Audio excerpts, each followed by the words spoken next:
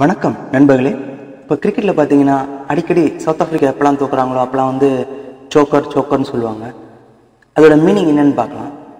இப்போது இதோட மீனிங் என்னன்னு பார்த்தீங்கன்னா ஆக்ஸ்போர்ட் டிக்ஷனரி படி பார்த்தீங்கன்னா a sports player who fails to perform at a crucial point of as a result of nervousness அதாவது என்ன சொன்னா ஒரு மெயின் ஈவெண்ட் இருக்கும்போது மெயினான டைமில் வந்து ஒரு பிளேயர் வந்து சொதப்பிடுவாங்க. ஒழுங்காக பெர்ஃபார்மன்ஸ் பண்ணுவாங்க.